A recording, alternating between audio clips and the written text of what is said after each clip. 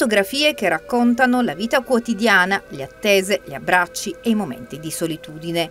Riflessioni quindi sulla vita catturata in 41 foto raccolte nella mostra collettiva Involontariamente Amo, ideata da Joen Cernoi dedicata a Vincenzo Moretti, un ventenne vittima di un incidente stradale sul lungomare di Bari il 14 aprile del 2002. A distanza di diversi anni dalla sua scomparsa, la mamma ha voluto raccontarlo e ricordarlo nei suoi scatti e in quelli dei tanti fotografi, ispirandosi ad una raccolta di poesie e di pensieri scritti proprio da Vincenzo. In molte fotografie è presente il senso di solitudine umana.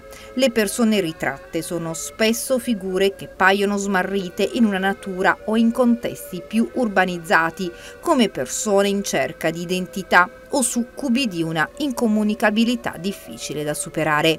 Ma in molte altre immagini invece prevale l'aspetto gioioso di splendore della natura, una natura non più estranea ma culla accogliente della persona.